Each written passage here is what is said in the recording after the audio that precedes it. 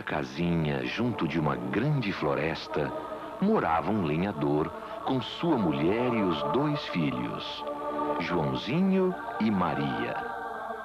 Embora muito pobre, a família vivia feliz.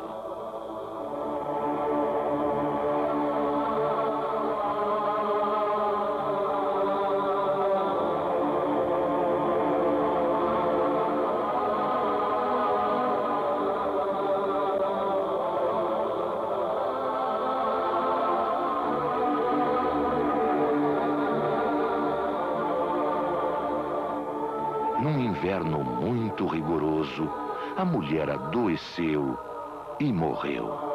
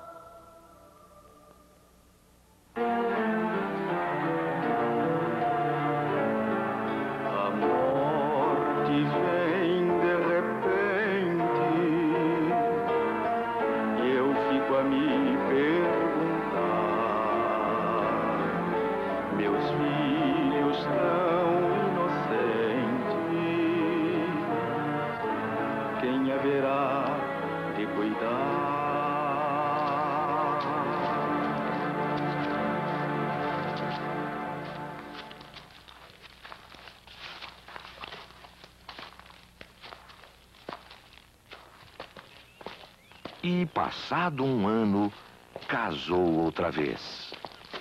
Muito triste, o lenhador quis dar a seus filhos uma nova mãe.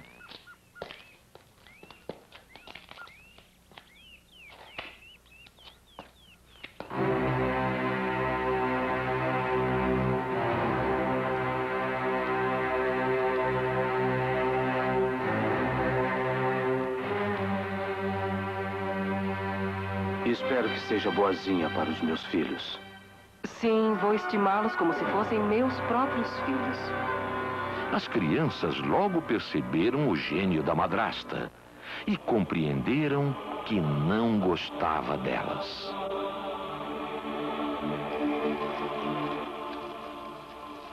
Nada mais temos para dar às crianças. Eu sei de uma forma de nos livrarmos delas. Amanhã cedo, quando for cortar lenha, leve-as consigo e abandone-as na floresta.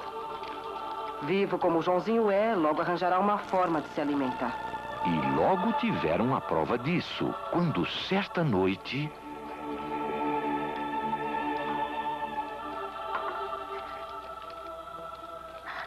Ficaremos perdidos na floresta. Não chore, Maria. Eu sei de uma forma de encontrarmos caminho de volta para casa. O que você vai fazer? Durma e não se preocupe. Tenha confiança em mim.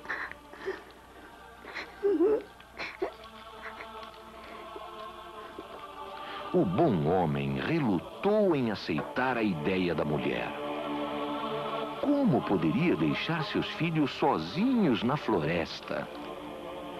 Tanto argumentou que a mulher terminou por convencer o marido de que aquela era a única solução se não quisesse vê-los morrer de fome. Joãozinho e Maria, que não tinham adormecido por causa da fome que sentiam, ouviram as palavras da madrasta. Joãozinho esperou o pai e a madrasta dormirem.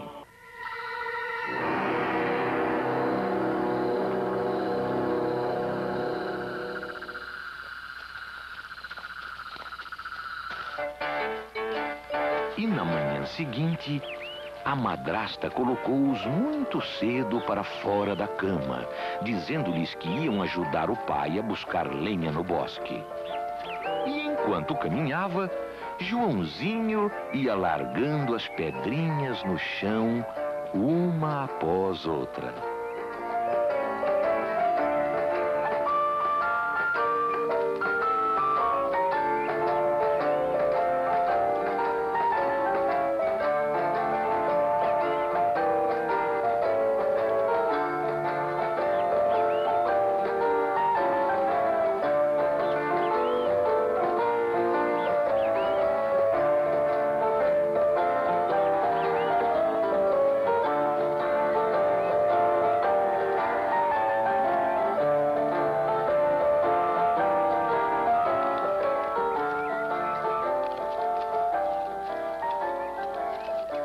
Fiquem sentados junto à fogueira. O papai vai cortar lenha e na volta passa por aqui para apanhá-los. E quando sentirem fome, procurem frutas, meus filhos. Com o coração partido, o homem deixa seus filhos junto à fogueira e desaparece na floresta.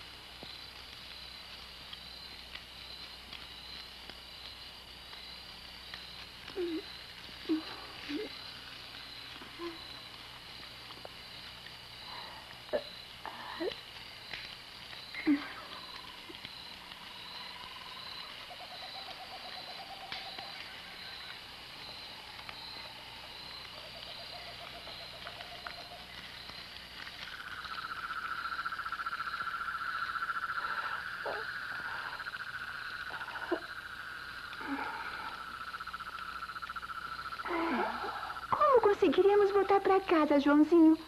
Seguindo as pedras que soltei pelo caminho. de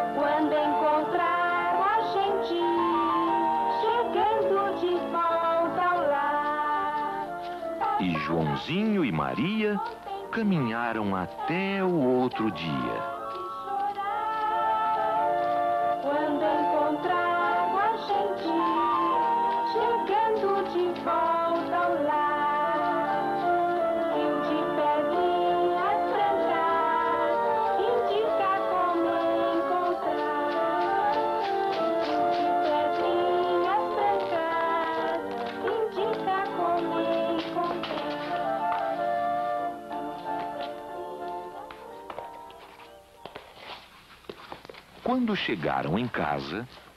Então os danadinhos encontraram o caminho de volta. Mas a próxima vez não encontrarão.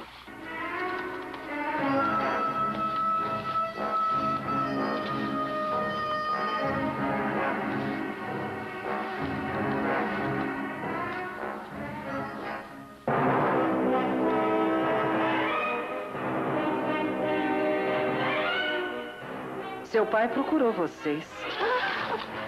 E julgou que tivessem voltado para casa. Joãozinho e Maria sabiam que era puro fingimento da madrasta. E naquela noite ficaram atentos, ouvindo o que ela falava com o pai. Amanhã eu irei com você. E levaremos as crianças para um lugar bem distante no coração da floresta de onde nunca mais encontrarão o caminho de volta. Você vai apanhar novamente as pedrinhas, Joãozinho. Vou primeiro esperar eles irem dormir.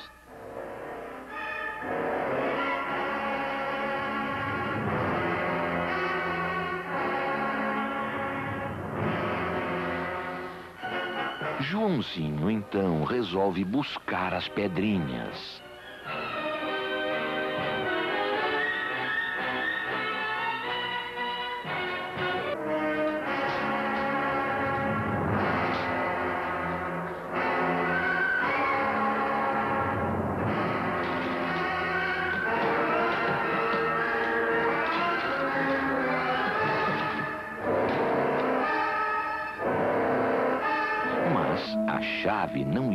Porta.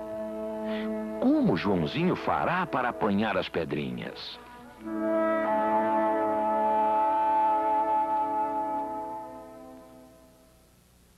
Joãozinho procura a chave em diversos lugares. Não a encontra. Vê a cesta sobre a mesa com dois pães. Seus olhos brilham. Ah, já sabemos. Joãozinho irá marcar o caminho de volta com pedaços de pão.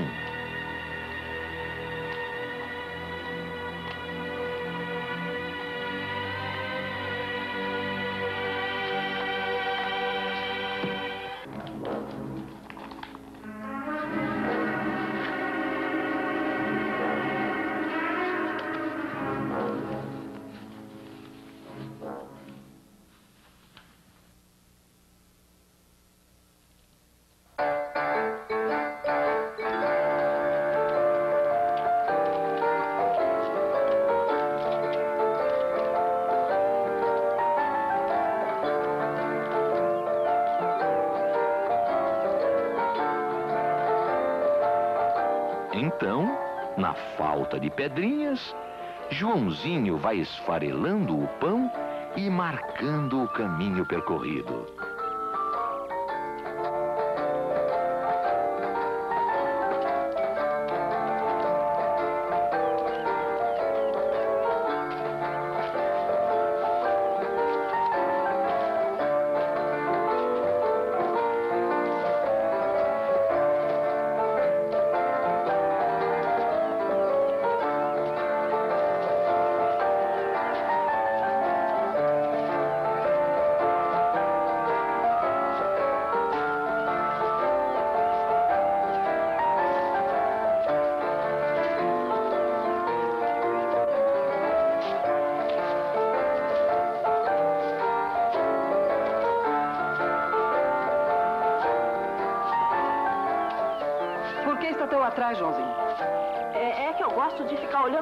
Olhando os passarinhos. Assim, com a mulher à frente, as crianças são levadas até um lugar pouco conhecido, onde as grandes árvores formavam uma floresta fechada.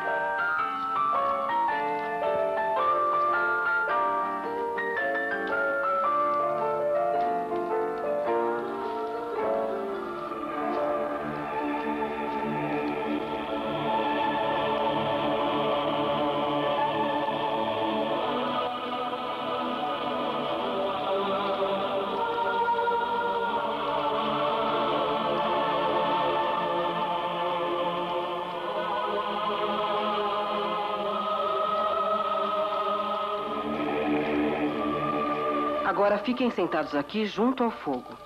E quando estiverem cansados, durmam um pouco. Eu vou com seu pai apanhar lenha e na volta passaremos aqui para apanhá-los.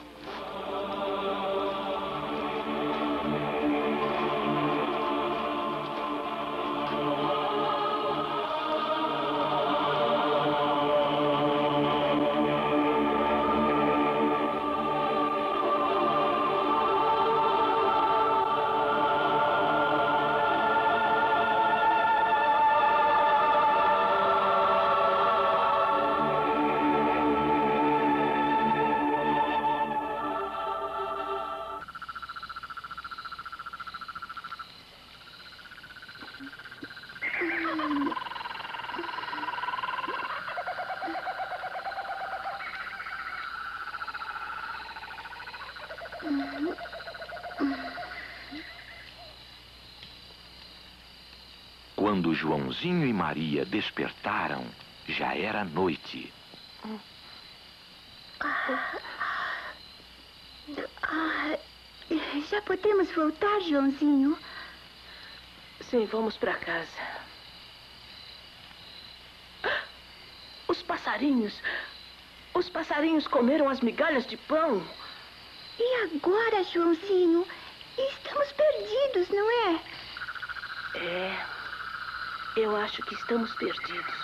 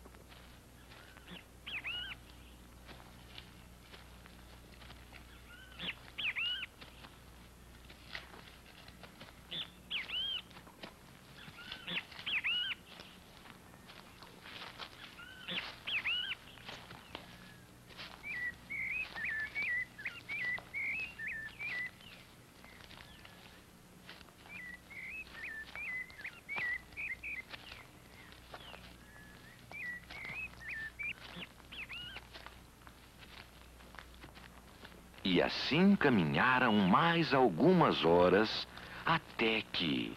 Estou com tanto medo, Joãozinho. Não se preocupe, Maria. Certamente encontraremos o caminho de casa. De repente, viram uma bruxa aparecer como por encanto.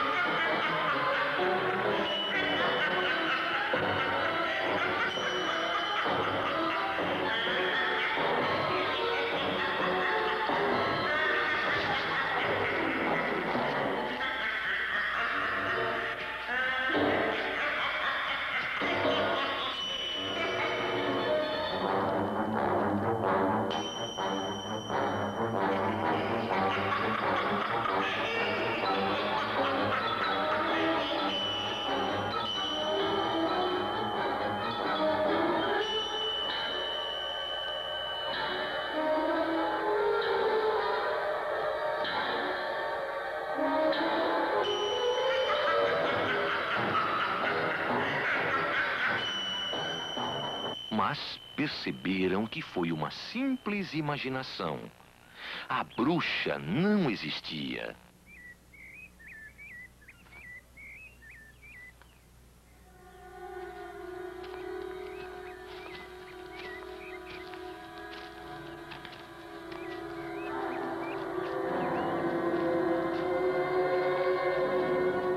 E, de repente, depois de estarem com muita fome, viram uma casa aparecer.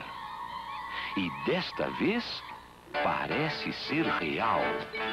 Uma casa de chocolate com doces e biscoitos na porta e janela.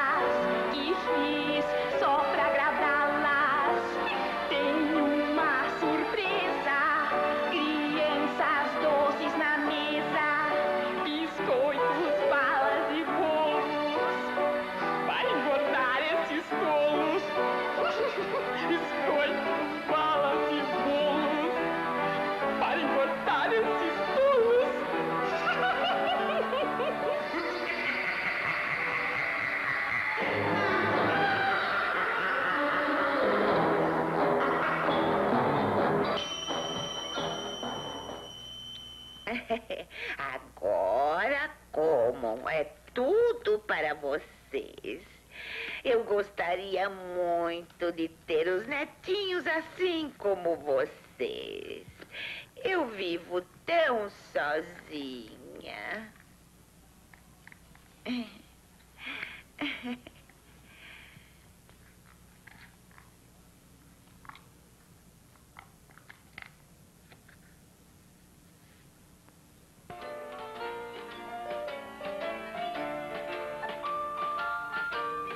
depois de comerem, como estavam cansados e com sono, a velhinha coloca-os na cama. Logo que deitam, adormecem.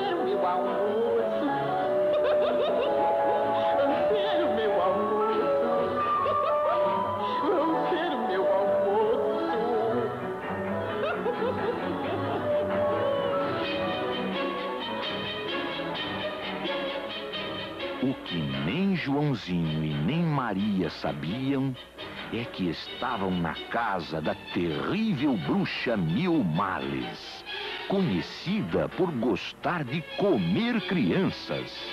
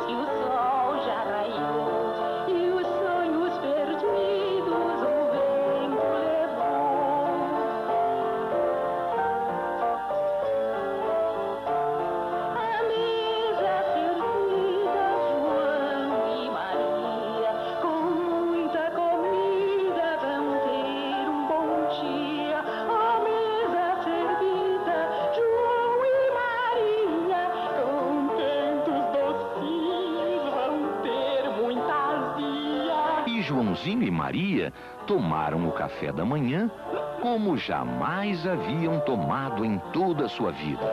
Agora venha comigo, Joãozinho. Quero mostrar-lhe uma coisa.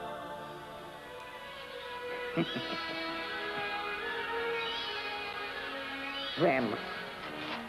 A bruxa Mil Males sabia disfarçar bem a sua real identidade.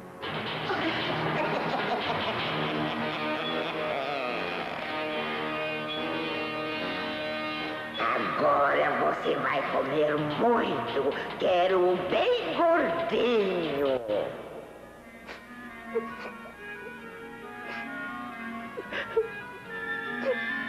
Não adiantou Joãozinho chorar e implorar para que o libertasse.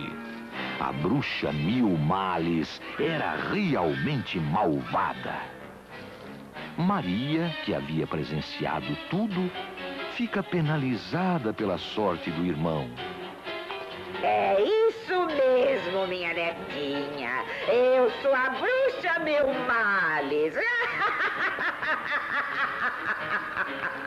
E você terá que fazer todo o serviço de casa. Assim, as pobres crianças caíram em poder da bruxa Mil Males, que obrigou Maria a fazer os serviços mais pesados da casa.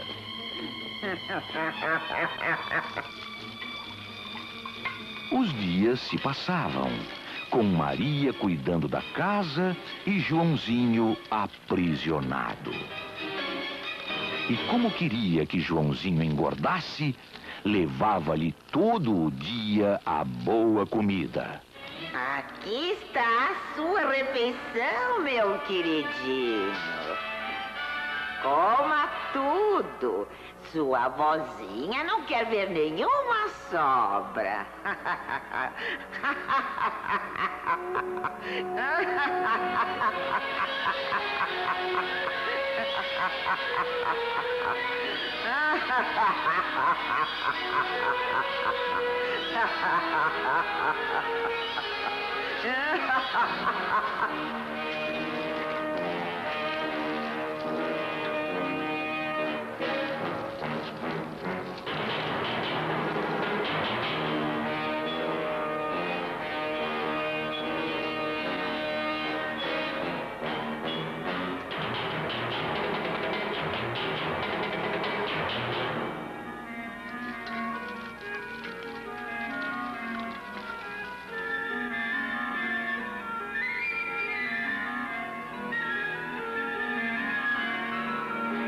para saber se estava engordando, Mil Males pedia para ver-lhe o dedinho.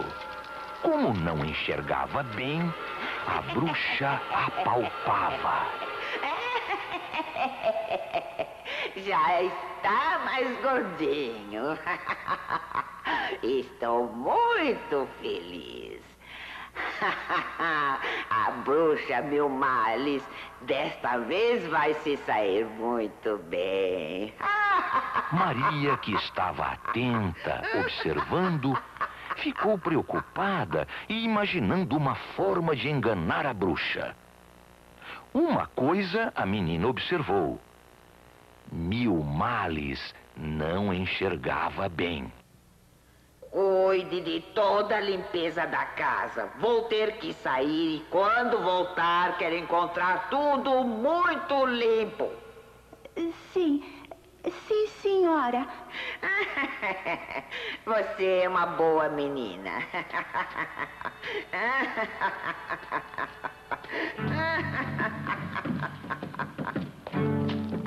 Joãozinho, Oi, Maria. Joãozinho, quando a bruxa mandar você mostrar a mão, mostre essa perninha de frango. Ela vê pouco e não perceberá.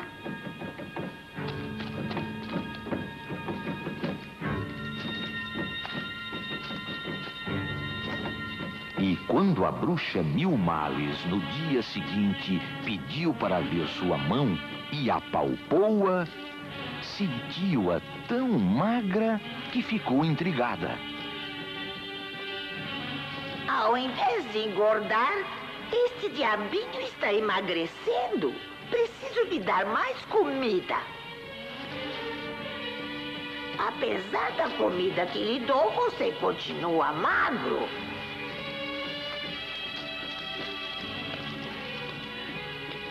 Maria não deixava de vigiar a bruxa.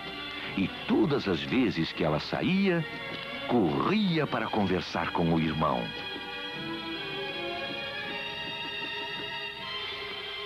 Até agora estamos conseguindo enganar a velha bruxa. Essa bruxa é mais malvada que a nossa madrasta. O que podemos fazer para fugir daqui? Se você conseguisse apanhar a chave que abre esta porta. Mas como? Olha, fique atenta, Maria. A qualquer momento deve surgir uma oportunidade. No entanto, os dias se passavam. E a oportunidade para Maria soltar Joãozinho não surgia. Até que uma manhã, a bruxa Mil Males levantou mais mal-humorada do que de costume. Mostre minha mão, Joãozinho. Harry, não engordou? Vou cozinhá-lo e comê-lo assim mesmo.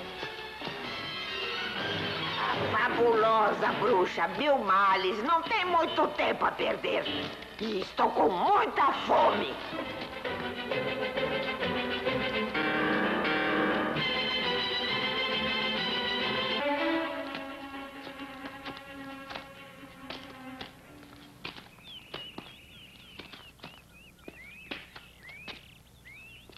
Quanto tempo que não uso, hein, meu caldeirão? Mas hoje voltará a ser como nos velhos tempos. Maria! Senhora! Ai, que susto! Quero que você vai apanhar lenha. Vai! Sim, senhora.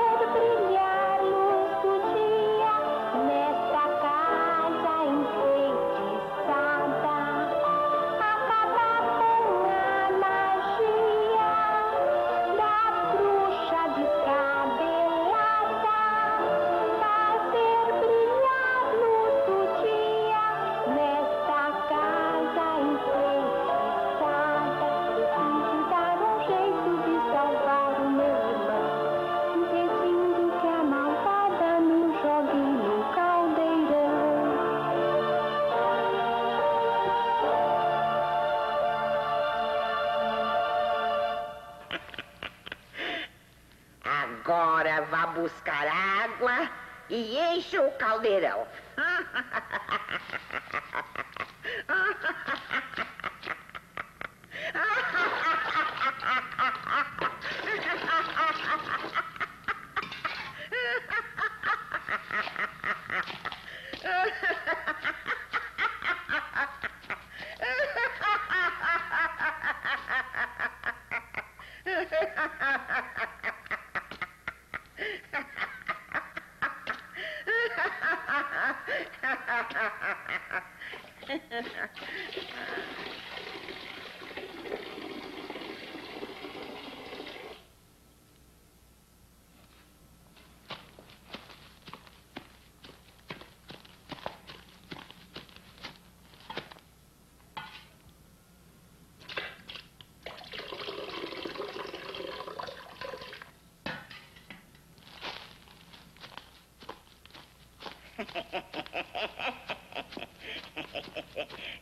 Mariazinha faz algumas viagens pegando água e trazendo para a bruxa mil males que despeja no interior do caldeirão.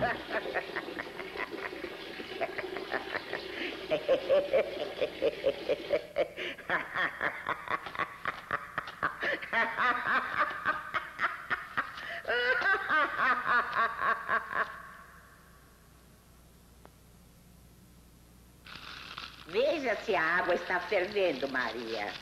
Não poderei ver dentro do caldeirão, avózinha. Sou muito pequena. Hum?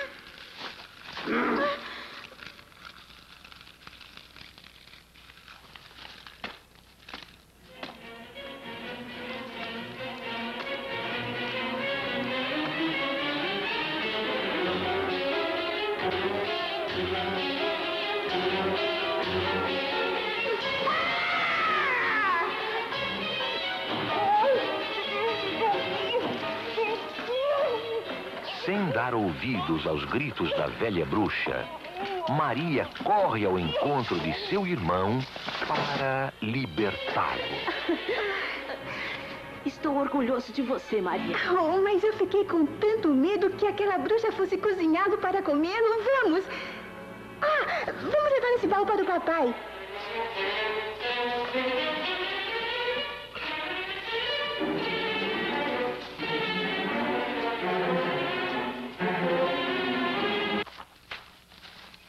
Durante todo o resto do dia, Joãozinho e Maria caminharam pela estrada.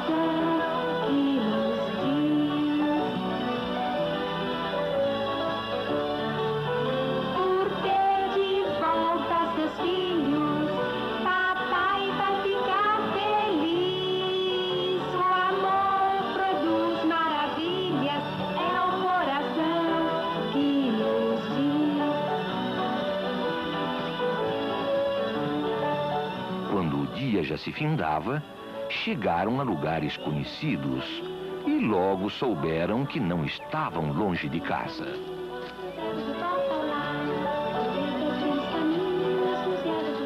E logo avistaram a casa. Como era bom poder ver novamente o doce lar. E lá estava o pai, cabeça baixa, triste e pensativo.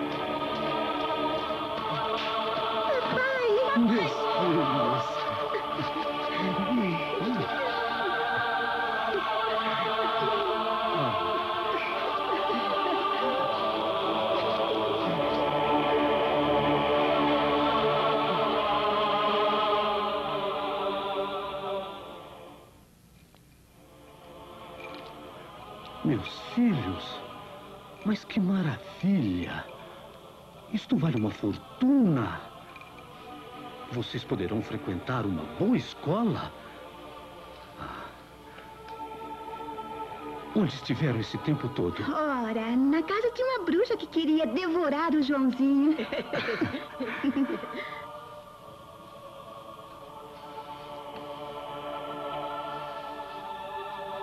Em seguida, contaram ao pai, entre risos e lágrimas, todas as aventuras por que passaram e todos os sofrimentos causados pela bruxa.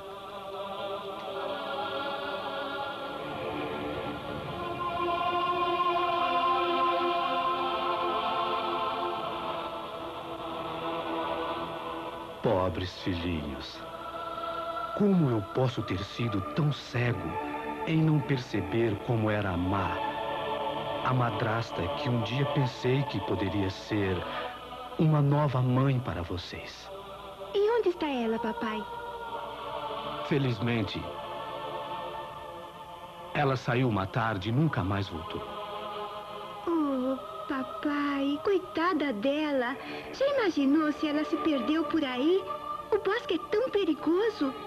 Tanto melhor se isso realmente aconteceu. Ela não merece sua compaixão, minha filha. Aquela mulher era uma criatura má.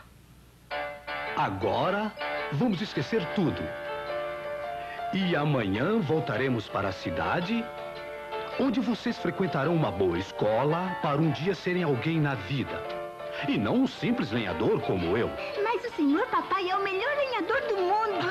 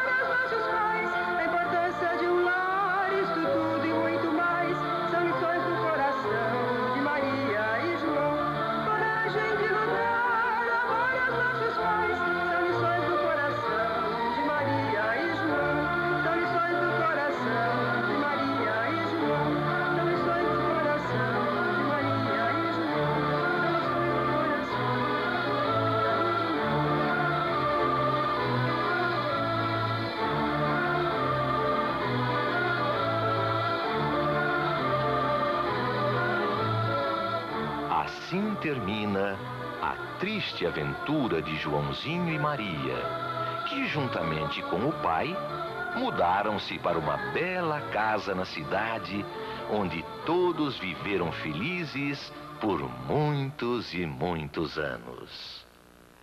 E acabou-se o que era doce.